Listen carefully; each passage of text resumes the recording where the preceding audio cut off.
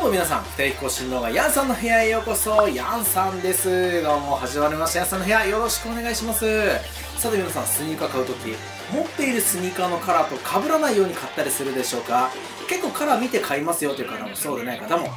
高評価とチャンネル登録、それからベルバックの通知ボタンを押していただければなと思います。ヤンさん、割とあんまり気にしないで、気に入ったのは買うっていう感じですかね。まあまあまあ、ヤンさんの話は、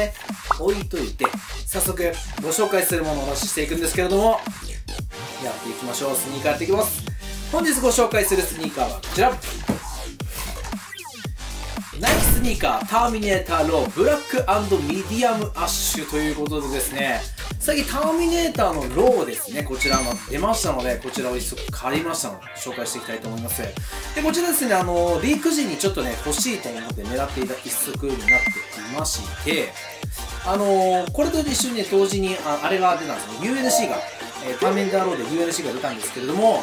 まあ、ヤンさん的にはやっぱりこっちかなと思ってメディアマッシュのグレーの方買いましたのでこちらご紹介していきたいと思います。早速いきましょう。本日ご紹介するスニーカーはこちら。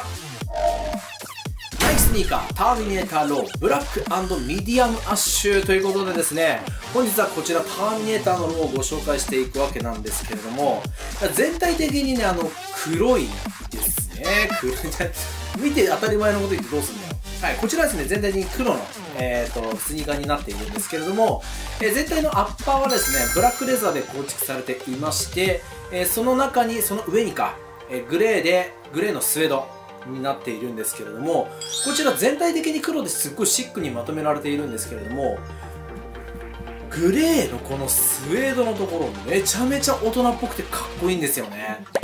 で、あと裏がね、ガムソールになっているんですけれども、結構黒、ガムソールっていうのは結構茶色っぽいんですけれども茶色よりも全然黒い感じのガムソールになっているのでこの辺もすごく一体感があるスニーカーになっているんじゃないかなと思っています。でワンポイントで、えーと、スニーカーのシューターのところですね。シューターのところにオレンジのオレンジという赤かなの数種が入っているのでこれが見えた時すごいワンポイントめちゃめちゃ映えてかっこいいんですよね。でやっぱり黒なのでどんな、え、服装にも合う感じがしますしこれなんかね一足持ってたらいろんな TPO TPO っていうとちょっとあれですけどいろんなねタイミングのところで役に立つんじゃないかなと思うのですごくかっこいい一足になりますね。ヤンさん結構いろいろ履きますけどいや結構ねあの12を争うぐらいかっこいい気に入りの今全部お気に入りなんですけれどもその中でも特にあの履きやすくて活躍しそうな一足なのかなと思っています。でこちらもともと付いていたシューレースは、えー、黒のシューレースになっていまして回避もは付いてませんでした。ただまあ白とかに変えなくてもこのままの方がヤンさん的には好みだなと思うので変えずにいきたいと思います。でこちら本日は、えー、マイサイで購入しているんですけれどもやっぱりターミネーターマイサイが一番かなと思います。ハーフ上げることもないかなと思いますしまあそのまま足の甲とかがね広かったりするとあれなんですけれどもヤンさんは割と広いタイプだと思ってるんですけれどもそれでも毎歳でいいのかなと思うのでもし買う時とかですねぜひ参考にしていただければと思います。いやなんだかんだいろいろ話しましたけどやっぱりなんかねあれですね隠れた名作みたいな感じ。個人的にですけど。はい。個人的になんですけれどもあの名作な感じになってるんじゃないかなと思っています。で結構あの皆さん言われるのがシュータンの切りっぱのところですね。これやっぱりね賛否両論生まれますね。まあ個人的にはねあのいろいろシューターの切りっぱのって思ってますけど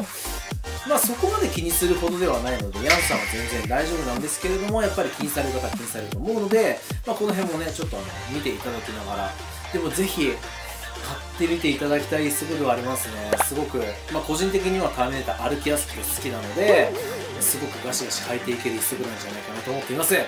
ということで本日はこちら。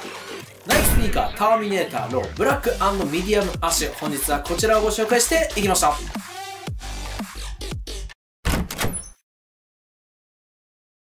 はいということで本日はこちら。ナイススニーカーターミネーターローブラックミディアムアッシュということで本日はターミネーターをご紹介していくわけなんですけれどもやっぱこの感じはいいですね。あの、先ほどもね、あの、今いろいろ履いてる中のトップに入るぐらいって言ったんですけれども、この履きやすさですね、やっぱりターミネーターの履きやすさ結構好きなので、もうローでっていうところもあると、すごく履いていく一足かなと思っています。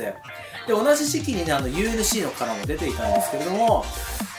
まあ、UNC もちょっとね、欲しいんですけど、まずはこっちかなっていうところではありましたね。あのー、ジョージタウン、